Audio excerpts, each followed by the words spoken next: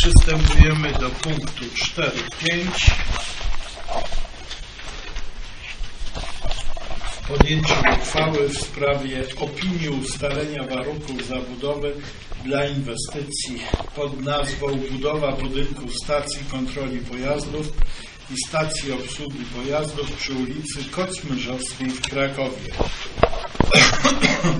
Projekt Komisji Budownictwa. Proszę o zabranie głosu Pana Przewodniczącego. Komisja po zapoznaniu się z dokumentacją pozytywnie, jednogłośnie przyjęła projekt. Dziękuję uprzejmie. Zarząd nie wnosi uwag do projektu uchwały. Chcą zwrócić jednakowoż Państwu uwagę na zapisy paragrafu drugiego, w którym warunkujemy pozytywną opinię od stwierdzenia braku kolizji tej inwestycji z planowaną przebudową ulicy Kocmyrzowskiej. Jak Państwo wiecie, już projekty są przyjęte. W tej chwili chodzi właściwie o kasę na przebudowę tej Kocmyrzowskiej. Otwieram dyskusję. Czy ktoś z Państwa radnych chciałby zabrać głos? Kolega Zaleński, koleżanka Huściel w drugiej Ale jedno kolejności. pytanie tylko do informacji. Y, Gdzie jest planowana mniej więcej w którym miejscu ta stacja z tą y, Kolega Kawa bardzo Po lewej stronie y, bliższy tam y, prawej przy mleczarni, po lewej stronie, nie po prawej jest mleczarnia, a po lewej stronie gdzie jest kup złomu.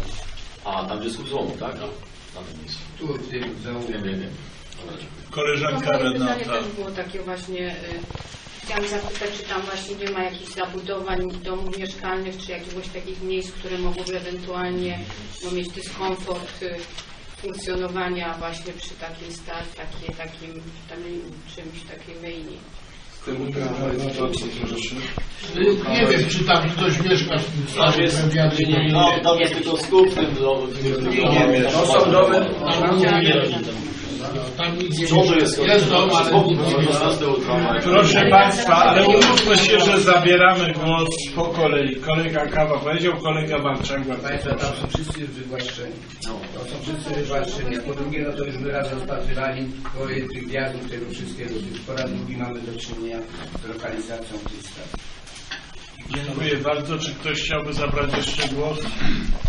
Nie widzę. Przystępujemy do głosowania. Kto z Państwa radnych jest za podjęciem tej uchwały? Proszę o podniesienie ręki. Kto jest przeciw? Kto się wstrzymał? Podjęliśmy uchwałę W jednym jednogłośnie. głosie Przy jednym głosie wstrzymującym, tak? Przepraszam bardzo, czyli w tym momencie 20 głosów za, przeciw 0, jeden głos wstrzymujący. Dziękuję bardzo.